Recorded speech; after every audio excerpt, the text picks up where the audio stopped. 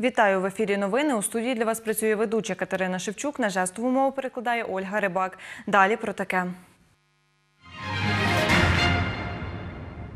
Аудіокнигу старокостянтинівської письменниці Оксани Радушинської Метелики у крижаних панцирах готують до презентації.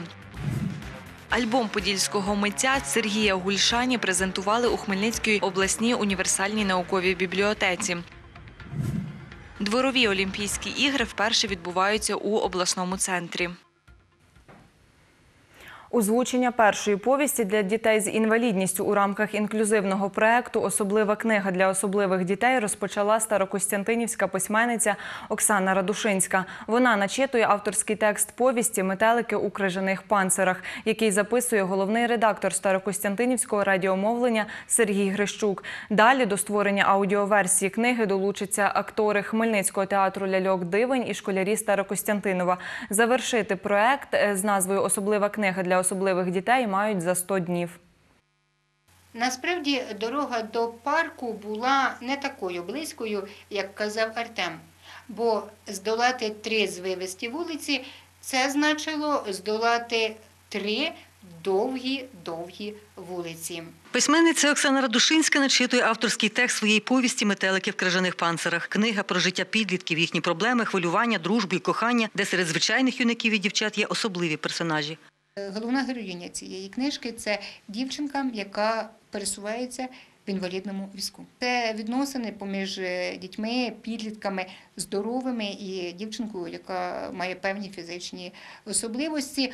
Письменниця каже, головну героїню писала з себе 14-річної. Хто краще, ніж я, може е, розповісти про те, що відчуває людина е, в інвалідному візку. Направду довелося занурюватися, повертатися десь емоціями, почуттями у свої 14, 15, 16 років і переживати знову дуже багато тих неприємних моментів. Повість Оксани Радушинської Метелики в крижаних панцирах рекомендована для вивчення в школі. Директор 8-ї Старокостянтинівської школи Тетяна Скрижевська каже, учні її школи першими почали читати цю книгу.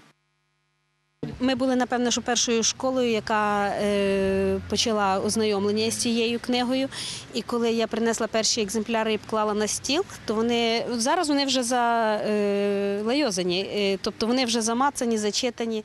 Діалоги після начитки авторського тексту озвучуватимуть професійні актори Хмельницького театру ляльок Дивень та старокостянтинівські школярі. Головний редактор Старокостянтинівського районного радіомовлення Сергій Грищук каже, не сумнівається, що діти впораються. Звичайно, справляться. Ну, по-перше, в нас діти завжди талановитіші за наше покоління. А по-друге, ще звукорежисер на місці. Так що я думаю, все буде добре. Ідея створити аудіокнигу належить працівникам Хмельницької обласної бібліотеки для дітей.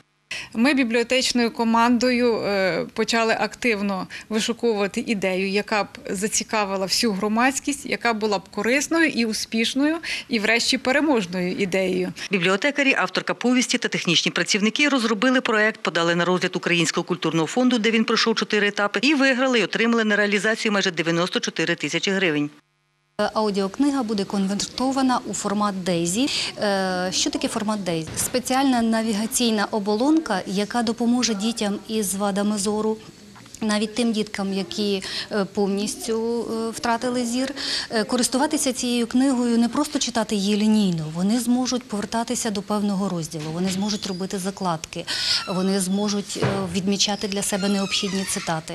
Аудіокнигу розмістять на порталі першої української дезі бібліотеки та онлайн-бібліотеки українського проекту Слухай на сайті обласної бібліотеки для дітей. Бачити, що наша книга у нас вже є домовленості, буде передана у 35 шкіл-інтернатів України для дітей з вадами зору. Вона буде передана у громадську організацію УТОС е, і у наш перший е, Хмельницький інклюзивний ресурсний центр. Проект мають завершити за 100 днів. Світлана Поробок, Іван Мовчан. Новини.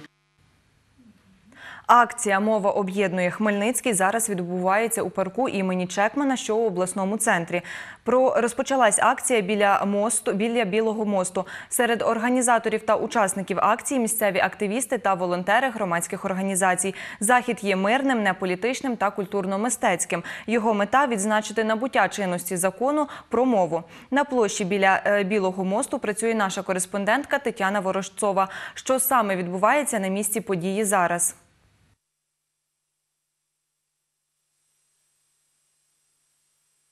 Чекмана проходить неполітична акція Мова об'єднує Хмельницький. Тут зібрались місцеві активісти та волонтери з українських молодіжних та громадських організацій. Відсіч, рух добровольців Простір Свободи, спілка української молоді України та інші громадські активісти. Поряд зі мною керівник заходу Олег Майданюк, координатор руху добровольців Простір Свободи. Пане Олеже, скажіть, будь ласка, е, ця акція проводиться тільки у Хмельницькому чи це всеукраїнська акція? Це всеукраїнська акція. Акція проводиться в більш ніж 30 містах України е, майже одночасно. Зараз от вечірній такий час. От для того, щоб е, донести людям е, основні положення і засвідчити для того, щоб люди засвідчили, що вони підтримують саме введення в дію закону про забезпечення української мови як державної в Україні. Будь ласка, яка мета цієї акції? Ну, власне, е, мета підтвердити і краще донести до людей саме деталі закону, е, почути е, думки з приводу підтримки цього закону. Також ми організовуємо такий невеличкий флешмоб, називається Мова єднає.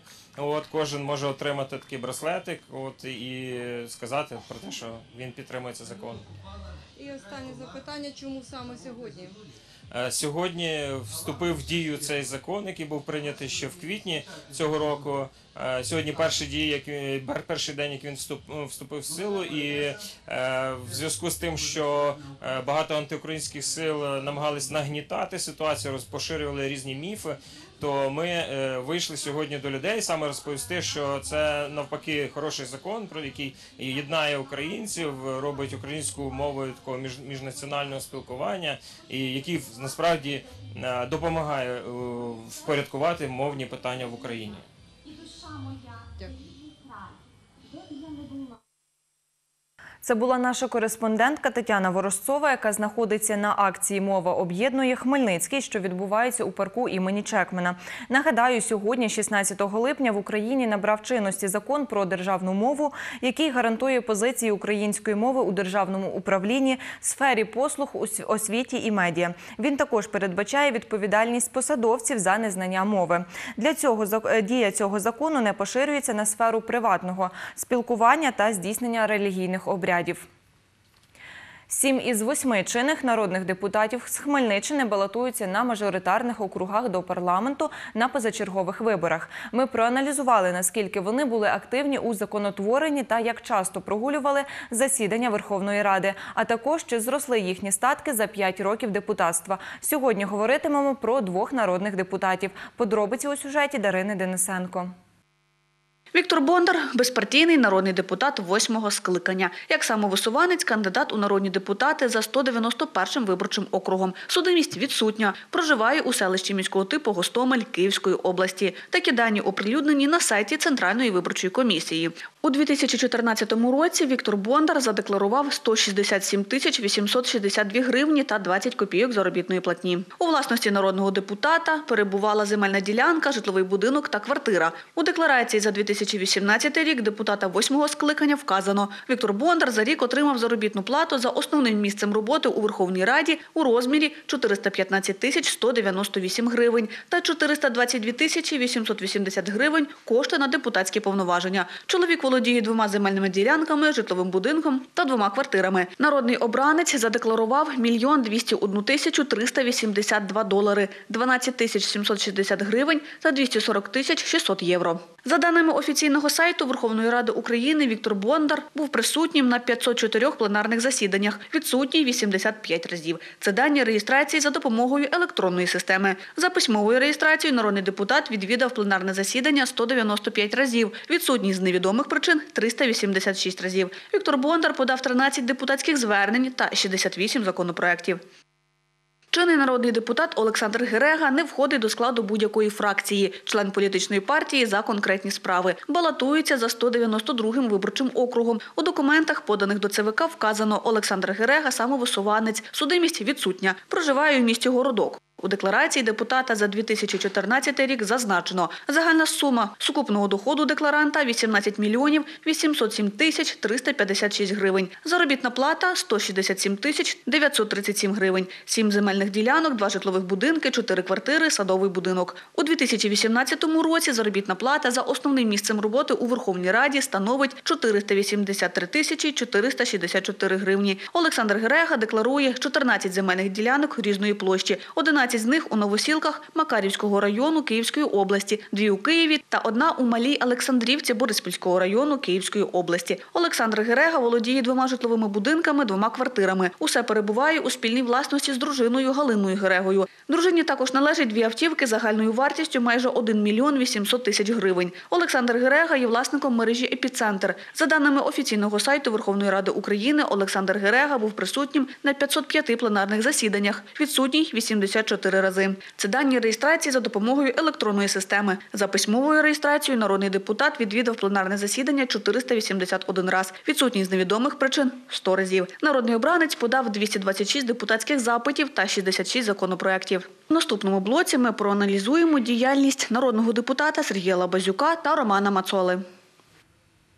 Замахом на вбивство називає кандидат у народні депутати від Всеукраїнського об'єднання Свобода Назарій Чепко інцидент, що стався уночі 13 липня, та називає замовника чинний народний депутат Олександр Герега. Про це нашому кореспонденту розповів кандидат у народні депутати Назарій Чепко. Чоловік балотується за 192-м виборчим округом із центром у Дунаївцях. За його словами, на нього напали вночі, коли він повертався додому після виборчої кампанії. був на мене напад. Е, Я це розцінюю як замах на вбивство, оскільки цілилися мені в область серця. Маю зараз там поріз. Е, Також маю порізану руку. Це вже сталося під час того, як я відбивав е, удар ножем. Схиляюся до того, що це найняв людину для цієї грязної справи Олександр Герега, діючий депутат, оскільки попередньо в той самий день ми розповсюдили листівки перед його виступом на сцені, де він де розповідалося про розслідування програми схеми, про те, що він тримає в Криму бізнес. Назарій Чіпко каже, після нападу на нього почали надходити погрози його побратимові. Федору Пронаку з Ярмолинець до нього підійшли, запитали, ти тут Чіпка в Ярмолинцях підтримуєш? Він каже, так. Каже, ну дивись, щоб тобі тепер ніхто не загнав ножа в око. Він мене попередив, після чого я зняв відеозвернення до Гереги, сказав, що я тебе не боюся. Також я опублікував, пізніше у Фейсбуці цю листівку, де розповідалося про Уляну Ткаченко, в тому числі про те, що його помічниця буде від опозиційного блоку балотуватися до Верховної Ради від е, проросійської відвертої сили. Ну, вже близько першої ночі на подвір'ї на мене вибіг в тіні силует людини. Я не зрозумів спочатку, що це відбувається. Я думав, можливо, якийсь друг, але тут долі секунди я бачу, що на мене щось летить подібне, як ніж. Вдалося відбити. Представник штабу кандидата у народні депутати України Олександра Гереги Валерій Парамей повідомив, заяву Назарія Чепко щодо замаху на вбивство та погрози сприймають як намагання дискредитувати свого політичного опонента на виборчому окрузі. На жаль, необґрунтовані звинувачення проти політичних опонентів найпоширеніший спосіб брудної агітації. Тому сприймаємо заяву кандидата в народні депутати Назарія Чепка про напад на нього намаганням дискредитувати свого політичного конкурента на виборчому окрузі. Якщо на кандидата вчинено напад, він має право звернутися до правоохоронних органів. Правоохоронці зобов'язані провести слідчі дії вжити всіх заходів для того, щоб знайти злочинця, а не сам кандидат. За словами прес-секретаря Національної поліції у Хмельницькій області Інни Глеги, за даним фактом порушено кримінальне провадження за частиною першої статті 296 Кримінального кодексу України хуліганство. Її санкція передбачає штраф до 50 неоподаткованих мінімумів доходів громадян або арешт строком до 6 місяців, або обмеження волі строком до 3 років.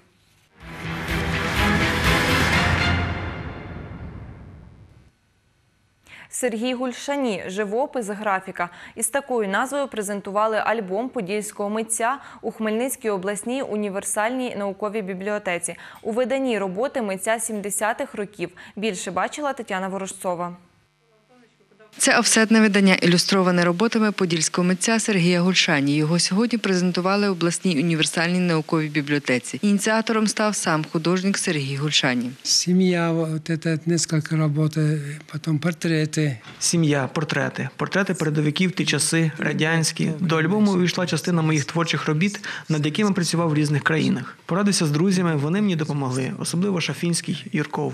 До альбому війшли роботи 70-х років минулого століття. Це портрети, графіка, живопис та картини, які розповідають про творчий шлях художника. Наклад альбому 60 примірників. При друці видання каже автор Микола Шафінський, зіштовхнулися із проблемою відтворення кольорів картин на папері.